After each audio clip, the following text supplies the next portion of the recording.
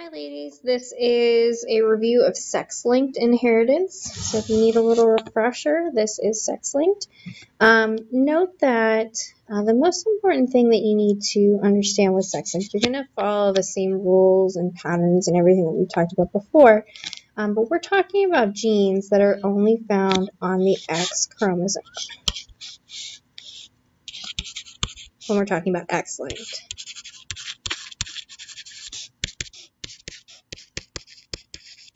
Okay. Um, technically, you can look at the inheritance pattern of things on the Y chromosome. These are called Y-linked. Um, but the majority of the time when we're thinking sex-linked, you're going to focus on the X chromosome. Okay, and the biggest thing that you have to account for when you're thinking about sex-linked disorders is the number of X chromosomes males and females have. So remember that if you have two X chromosomes, this indicates a female. If you have one X chromosome and a Y, this is going to indicate a male. Since we're focusing on um, X-linked disorders, okay, we are just using this Y basically as a placeholder. You don't want to put any alleles or anything on there. It's just there to indicate that the individual would be male, and it's basically a placeholder. So let's kind of go through and talk about this one problem to kind of give you a good background on sex-linked. Okay, so the first thing you want to do is kind of read through and make a key, remember? So red-green color blindness is inherited as a sex-linked recessive. Okay, so we're going to be focusing, you need two, whenever you see sex-linked recessive, that means that a female is going to need two copies to express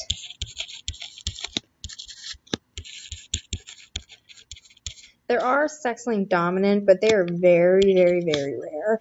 Um, so for um, the majority of the time, uh, do we think about recessive?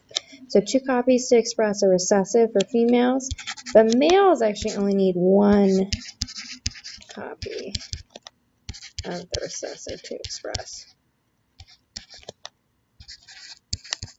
Which is why um, the majority of the time, you're going to see a much higher um, proportion of individuals with the sex-linked disorder in males.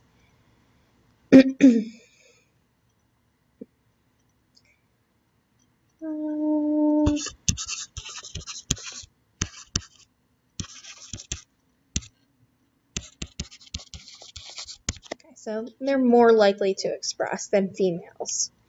Okay, you will see it on females on occasion, but typically you see it um, most likely in males because they really only need one copy in order to express. And one other thing to kind of keep in mind, just a little trick to kind of think about, every male is going to inherit their X chromosome from mom. Okay, so um, these traits are never passed down the, from father to son. They're really typically passed down um, the maternal line okay, because we're focusing on the X chromosome. So let's look at this one right here. So if a colorblind woman marries a man with normal vision. So let's make a key first so we can get our allele straight. I'm going to do X and then we're just, I'm going to do an R for red-green color blindness. C's kind of look too similar. So a big R would indicate normal do a little r is going to indicate colorblind. Okay, so make a key, it's really helpful. Um, let's get our um, genotypes for our parents.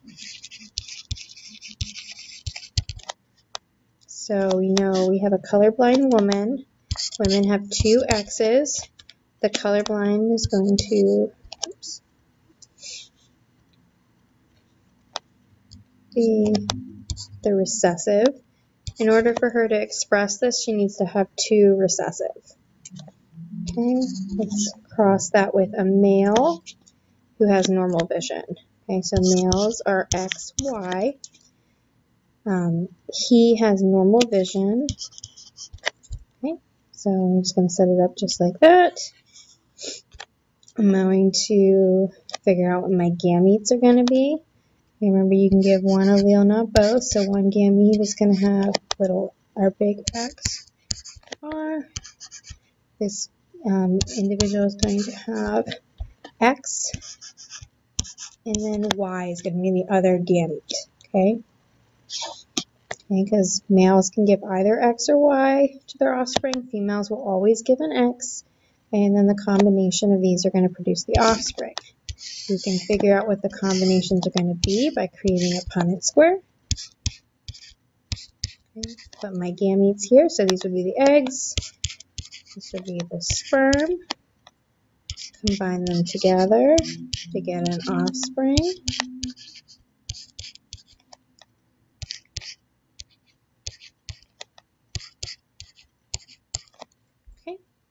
And then what would be the expected phenotypes of the children? So let's get a nice ratio going for this. So it's important to include in your ratio the sexes of the individuals because the sex does matter. So if I look at the females, females actually happen to be expressing the same thing. Okay, so they both have one of the dominant alleles, so they're going to have normal vision. So one normal female to every, okay, the males are the same thing. They are both colorblind because they got that colorblind allele from mom. Note the males will always get their X's from mom. They never get them from dad. Okay, so one color blind male. Okay, and that's how you do it. Um, you could also do a proportion. So if I wanted to say what's the probability of for having a female that's normal, okay, if I already know it's a female, it would be 100%. If I want to know the probability of it being both female and color and normal vision, okay, that would be one half, okay, because there's a 50% chance that it's going to be female and colorblind, or excuse me, and normal vision. If I wanted to know the probability of having a child that was colorblind, okay, 50% of the children are colorblind. Okay, I want to think about the probability of having, if I know I have a boy, what's the probability of the boy being colorblind? Be 100% because you already know that your boys are going to all be colorblind. So just a couple of different ways to think about it. Um, please try to answer all of those colorblind questions and bring um, anything that you have trouble with to class. Have a nice day, girls.